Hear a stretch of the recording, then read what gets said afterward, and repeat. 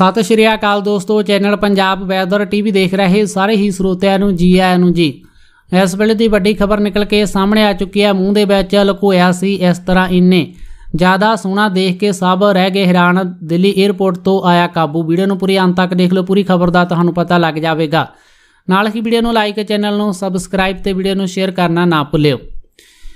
ਹੁਣ ਮੂੰਹ ਦੇ ਵਿੱਚ ਲੁਕੋਇਆ ਹੋਇਆ ਸੋਨਾ ਵੇਖ ਕੇ ਸਾਰੇ ਹੈਰਾਨ ਰਹਿ ਗਏ ਹਨ ਜਿੱਥੇ ਦਿੱਲੀ ਦੇ ਹਵਾਈ ਅੱਡੇ ਤੋਂ ਇਹ ਖਬਰ ਸਾਹਮਣੇ ਆ। ਪ੍ਰਾਪਤ ਜਾਣਕਾਰੀ ਦੇ ਅਨੁਸਾਰ ਇਹ ਘਟਨਾ ਦਿੱਲੀ ਦੇ ਇੰਦਰਾ ਗਾਂਧੀ ਹਵਾਈ ਅੱਡੇ ਤੋਂ ਸਾਹਮਣੇ ਆਈ ਹਵਾਈ ਅੱਡੇ ਦੇ ਉੱਪਰ ਜਿੱਥੇ ਬਹੁਤ ਸਾਰੇ ਸੋਨਾ ਸਮਗਲਰਾਂ ਨੂੰ ਗ੍ਰਿਫਤਾਰ ਕੀਤਾ ਜਾਂਦਾ ਤੇ ਉੱਥੇ ਹੀ ਅਜਿਹੇ ਇੱਕ ਹੋਰ ਯਾਤਰੀ ਨੂੰ ਕਸਟਮ ਅਧਿਕਾਰੀਆਂ ਦੇ ਵੱਲੋਂ ਕਾਬੂ ਕੀਤਾ ਗਿਆ। ਦੱਸਿਆ ਗਿਆ ਕਿ ਦੁਬਈ ਤੋਂ ਆਉਣ ਵਾਲੇ ਦੋ ਯਾਤਰੀਆਂ ਦੇ ਉੱਪਰ ਕਸਟਮ ਅਧਿਕਾਰੀਆਂ ਨੂੰ ਸ਼ੱਕ ਹੋਣ ਤੇ ਉਹਨਾਂ ਦੀ ਲਈ ਗਈ ਤਲਾਸ਼ੀ ਤੋਂ ਬਾਅਦ ਉਹਨਾਂ ਦੇ ਕੋਲੋਂ 951 ਗ੍ਰਾਮ ਸੋਨਾ ਬਰਾਮਦ ਕੀਤਾ ਗਿਆ ਹੈ ਤੇ ਇਹ ਦੋਵੇਂ ਉਹ ਜੇ ਉਜ਼ਬੇਕਿਸਤਾਨੀ ਨਾਗਰਿਕ ਹਨ ਜੋ ਕਿ ਦੁਬਈ ਤੋਂ ਭਾਰਤ ਆਏ ਹੋਏ ਸਨ, ਉਹਨਾਂ ਦੇ ਆਪਣੇ ਮੂੰਹ ਵਿੱਚ ਹੀ ਸੋਨਾ ਲੁਕੋਇਆ ਹੋਇਆ ਸੀ।